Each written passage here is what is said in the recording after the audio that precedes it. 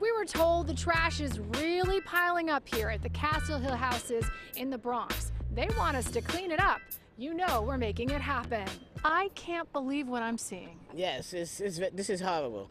A viewer who says he is a NYCHA caretaker here at the Castle Hill houses in the Bronx reached out to us for help. He wouldn't talk to us on camera, but Monica, make it happen. Roxy Reed, who lives here, did show us around. It's this is all along the sidewalk. I mean, not only just dog poop and bags of trash, but it's just everywhere. Yeah, it's all over. From the sidewalks, 14 buildings strong. Yes. And you you've lived here for how many years, Roxy? I lived here for almost 40 something years. Have you ever seen it this bad? No, I never seen it this bad. To the lobby of 530 Olmstead Avenue. We do see a worker picking it up, so that's good. That's good news. But they're just leaving it in the hallways. Sean Jenkins says it's a team effort to keep things clean here.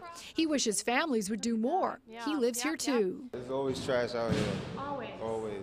No matter if housing out here or not. Sean says the back of the building is always covered in trash. There's a full sofa out here. Sit here Okay. for days though. It sit out That's here. been here for days.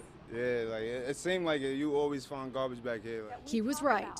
Just when we thought we'd seen it all, a washing machine in the middle of the Castle Hill houses. How long has that been here? It's been there for a while. This woman told us to check out her floor inside. That was rat and everything, cucaracha. Is there trash on your floor?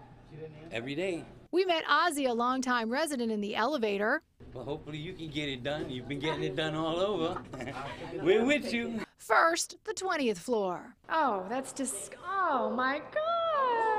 The trash here smells like it's been here for a while. This is crazy. On the second floor, there was all of this. You know, we reached out to NYCHA, and they say they cleaned the building from the inside to the outside. We'll be back on Friday to keep checking on it. That's right. And you know we're fighting for you. And if you have a story, reach out to us on Facebook at Monica Morales TV. That's Monica Morales TV. We can be your neighborhood next. At the Castle Hill houses in the Bronx with Roxy, Monica Morales, PIX11 News. Monica, make it happen. Wow.